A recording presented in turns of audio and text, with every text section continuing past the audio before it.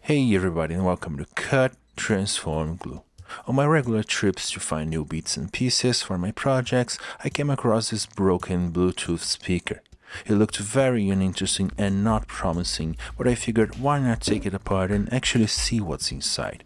Maybe it could be like a gribbly hunting video. I had no idea of what to expect, and the only way to be sure was to just go for it.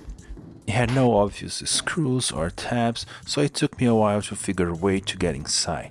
Once I found a couple of screws, I started making some progress, and of course, some brute force was also very helpful.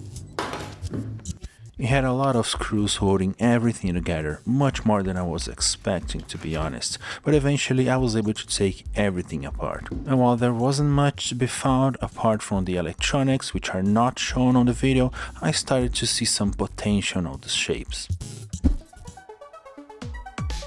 For a long time I've been wanting to build a four-legged crab robot where the main body shape would be like a tower and this broken speaker shell looked perfect for that idea.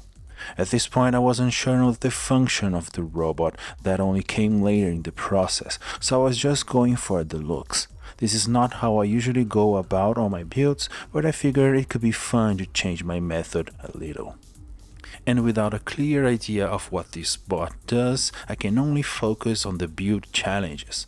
I knew there was going to be a round body on the bottom of the tower, where later the legs would be attached, so I reinforced that spot with some thick acrylic shapes. On the top though, I wanted of course some cool detailed shapes, and for that I went with some custom 3D printed pieces and some good looking gribblies, like the Kinder Surprise Egg. As I just said, there wasn't a lot inside of the speaker, but there were many opportunities and places where I could add new things, like I just did right there, using a printed piece that matched the three holes on a cool triangular pattern.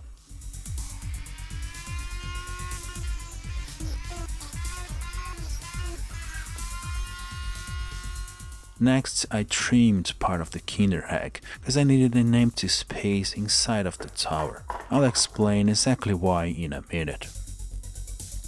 Then I kinda got ahead of myself, grabbed some tiny detail pieces and glued them on the three spots on the top.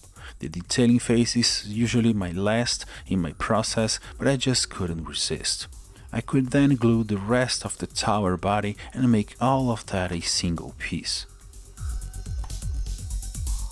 there was a big empty spot where the buttons of the speaker were that I needed to take care. In my mind that was going to be the back of the robot, so I needed some air vents there. I made a custom piece that fitted the gap perfectly and then I combined it with some resin gribblies that I actually made for my last project, the Science Traveler Sapo. You can spot them right there on the front of the truck. These resin pieces are part of a collection of shapes I'm slowly building over time, and patrons on the Combat Robot tier have access to many of these gribblies. Now, here's why I needed some empty space inside of the body. Some of you might remember that I'm little by little trying to incorporate illumination in my builds.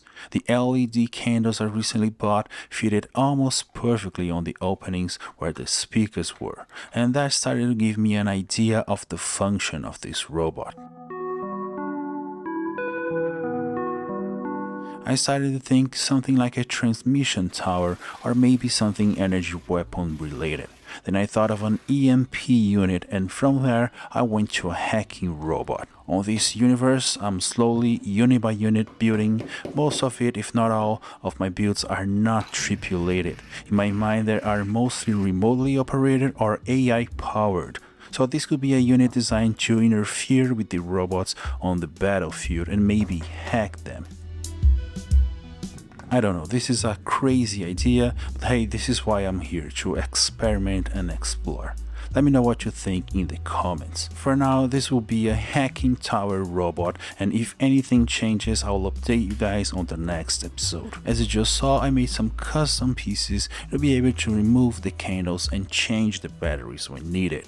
Then I grabbed some roll-on deodorant balls and made a way to attach them on the top of the LEDs using some fake Lego pieces. You guys know me, I like to keep everything separated for the painting process.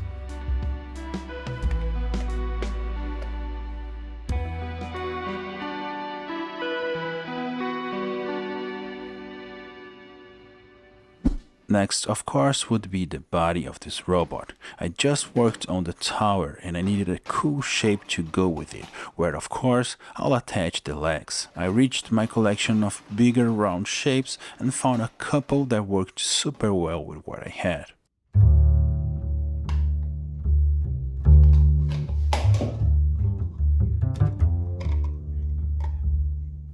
I made some changes to it, removing features that would interfere and make gluing everything a lot harder. Then I found the center of the piece and added some thick acrylic to reinforce everything. The blue shape was made of a plastic kinda immune to CA, so I had to use some hot glue to make sure everything stayed together. And I also added a thick acrylic disc on the top of everything where the tower would be sitting and as you can see there's a thick steel rod that makes the connection from the round body to the tower.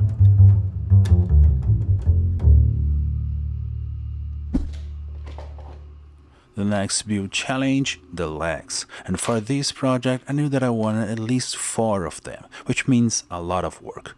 Well, I decided to take a shortcut actually. You guys will see that in a minute. Old subscribers know that I have this collection of what I call laser cut axle pieces. When I go to a public maker space around here, I usually cut a bunch of these to be able to quickly put together some legs, make some tests and things like that.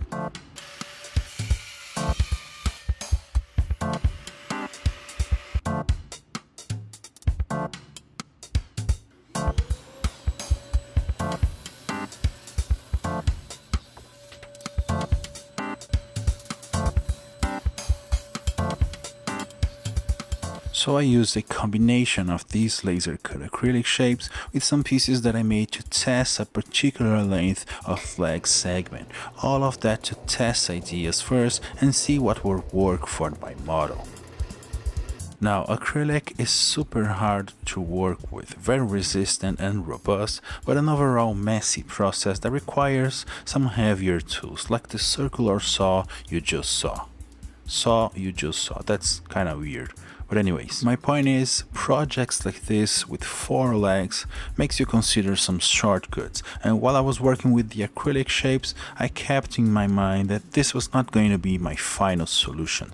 Maybe someday I'll work out an acrylic leg prototyping system where I can pre-cut and simply assemble multiple leg segments quickly changing its length I don't know, this is a challenge for future me. And also, of course, I need my own laser cutting tool for projects like this, but this, this is for the future.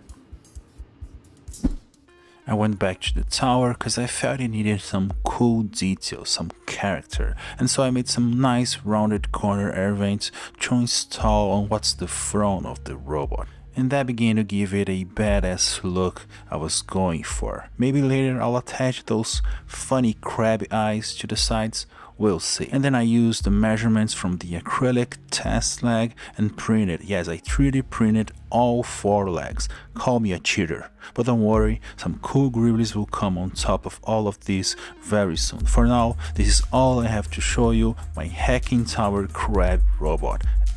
Thank you so much for all my patrons and YouTube members for making all of this possible and as always, thanks for watching.